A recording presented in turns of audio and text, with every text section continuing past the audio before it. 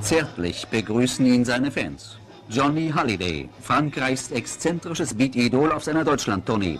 Zum ersten Mal präsentiert der stets fantasievoll gekleidete und wegen seines Temperaments und seines Zartgefühls gleichermaßen geschätzte Popsänger seine Show dem deutschen Publikum.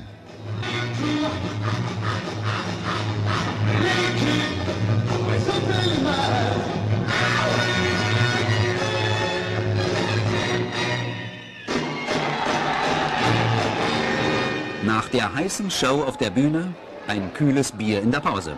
Johnny weiß, wie er die schwarzen Vögel, seine 13-köpfige Band, wieder in Stimmung bringt. Dem Star aber geben Sauerkraut und Stampfkartoffeln die nötige Kraft für den Höhepunkt des Abends.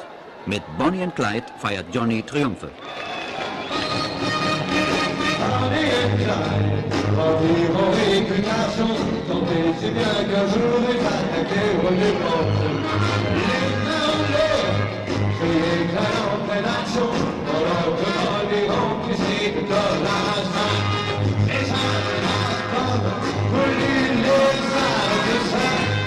Bei seinem ersten Auftritt vor acht Jahren pfiffen ihn die Franzosen aus.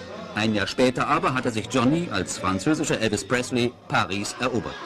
Heute künden 15 Millionen verkaufter Platten von seinem Ruhm.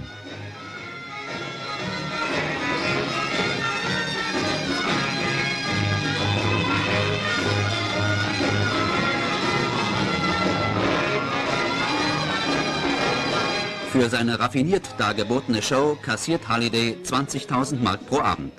Der Veranstalter aber klagt, nur die Hälfte der erwarteten Besucher kam und zahlte für 60 Minuten Ekstase mit Johnny Halliday.